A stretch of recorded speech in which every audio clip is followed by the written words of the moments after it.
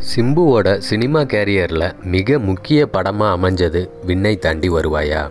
குறிப்பாக காதலர்கள் இந்த படத்தை கொண்டாடிட்டாங்க. அதை தொடர்ந்து மீண்டும் சிம்பு மற்றும் கௌதம் மேனன் இயக்கத்தில் வெளிவந்த அச்சம் என்பது மடமேடா படம் எதிர்பார்த்த அளவுக்கு ரசிகர்கள் மத்தியில் வரவேற்பை பெறலை. அதுக்கப்புறம் சிம்பு உடல் எடை கூடி சினிமாவில் இருந்து கிட்டத்தட்ட மூன்று ஆண்டுகள் எந்த ஒரு படத்துலையும் நடிக்காமல் இருந்தார். தற்போது தன்னுடைய உடல் எடையை பாதியாக குறைச்சி பழைய தோற்றத்துக்கு மாறி இருக்க சிம்புவை தேடி இயக்குனர்களும் தயாரிப்பாளர்களும் படையெடுக்கிறாங்க. அந்த வகையில் தனக்கு ஏற்கனவே ஹிட் கொடுத்த இயக்குனரான கௌதம் மேனன் முதல்ல விண்ணை தாண்டி வருவாயா படத்தோட ரெண்டாம் பாகத்தை தான் உருவாக்க முடிவு செஞ்சு இருந்தார்.